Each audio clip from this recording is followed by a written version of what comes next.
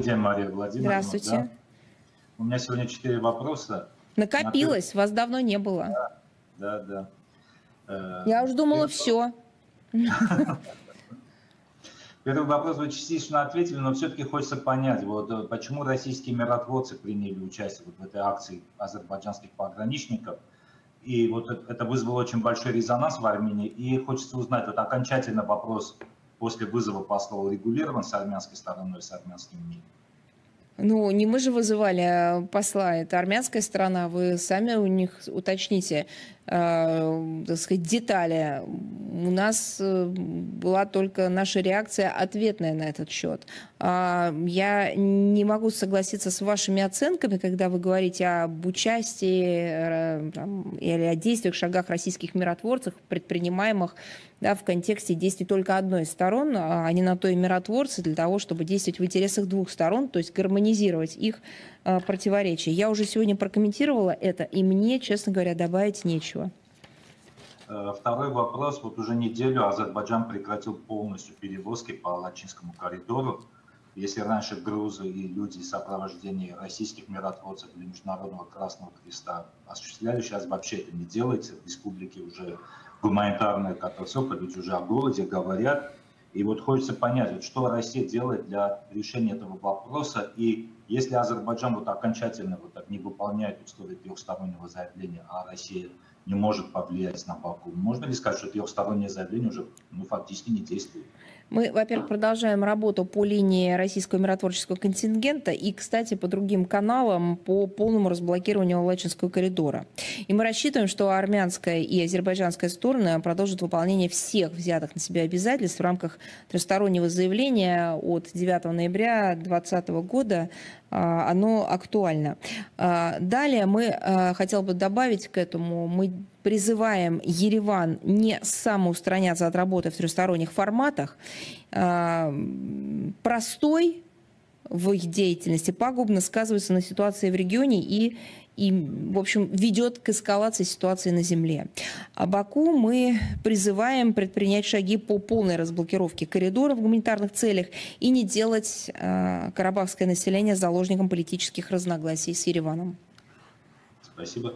Третий вопрос. Вот на днях в РИА Новости вышел материал со ссылкой на дипломатический источник о том, что США якобы требуют от властей Нагорного Карабаха провести переговоры с Азербайджаном в какой-то третьей стране, угрожая, что в противном случае Баку осуществит силовую операцию против Нагорного Карабаха, против Арцаха.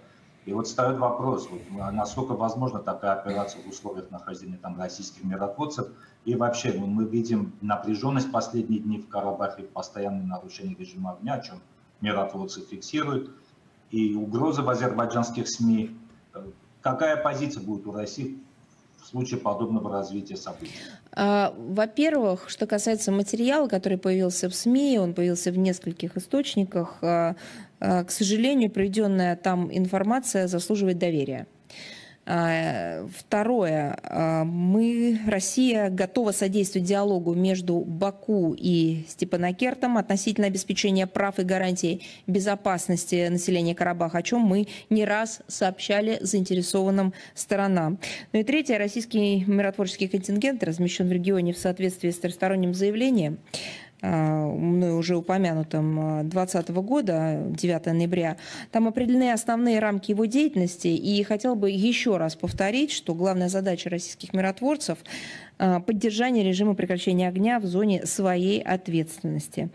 А, по поводу того, насколько операции возможны, но я уже сказала, под информацией о наличии такой школы мысли, к сожалению, есть основания.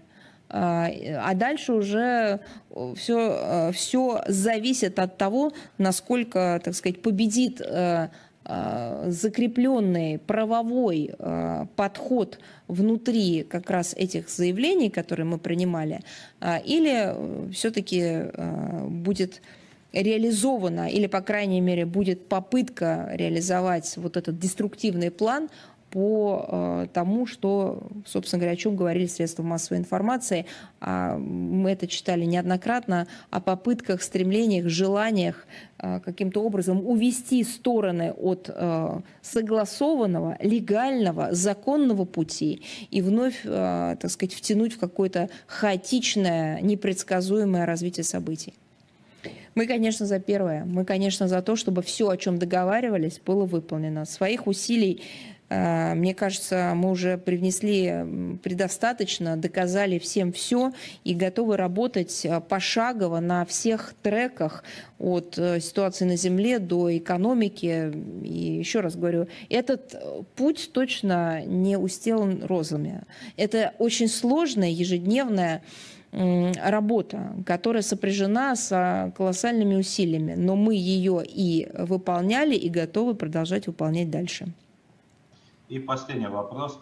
Мария Владимировна, накануне премьер-министр Армении Никол Пашинян в парламенте выступая, заявил, что вот не удалось остановить войну 2020 года, особенно вот известная история 19 октября, о которой президент России Владимир Путин говорил, из-за того, что Россия не смогла убедить Азербайджан так как Азербайджан Баку все время выдвигал новые условия.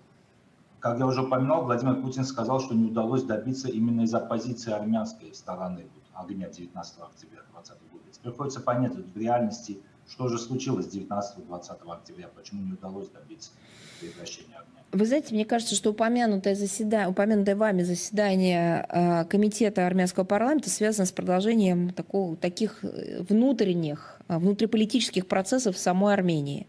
Я не уверена, что мы должны комментировать вот эти внутренние дебаты, но при этом, конечно, и детали конфиденциальных переговоров на высшем уровне тоже не моя компетенция это просто не, не в наших традициях и не в наших функциональных обязанностях. Но при этом а, я обращу ваше внимание на то, что какими бы внутриполитические дебаты не были жаркими, есть истина, потому что она подкреплена фактами. Вот именно Россия смогла добиться прекращения огня в Нагорном Карабахе осенью 2020 года и восстановить мир в регионе. И это зафиксировано на бумаге. Это зафиксировано в заявлении лидеров России, Азербайджана и Армении. Ну как же можно считать по-другому? Ведь это заявления принимались по итогам их выработки всеми трем, тремя сторонами. Или что? Или кто-то хочет отозвать свою подпись под тем, что было согласовано тогда? Я не думаю. А, поэтому, опять же, оставляя за скобками, мы всякое слышали во внутренней повестке различных стран по различным поводам, да? А, мы все-таки исходим из позиции официально озвученной от лица государства, а, так сказать, руководством той или иной суверенной страны, и на это ориентируемся. Но в целом, мне кажется, нужно было бы сконцентрироваться не на поиске виновных а, в э, тех событиях, но, по крайней мере, оставить это, это вопрос историкам. А, нужно сконцентрироваться на реализации комплекса трехсторонних договоренностей на высшем уровне в период с 20 по 22 года. Они являются фундаментальной, безальтернативной, потому что фундаментальной дорожной картой для процесса армяно-азербайджанской нормализации. Спасибо большое.